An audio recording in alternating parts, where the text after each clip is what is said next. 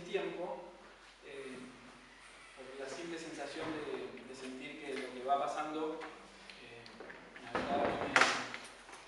Emi Álvarez, un aplauso.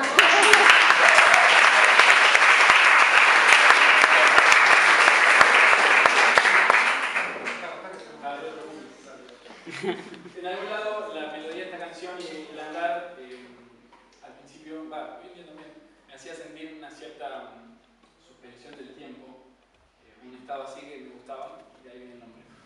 Eh, pero nació en el sur, o sea, no en el litoral, pero en un ámbito de- del agua.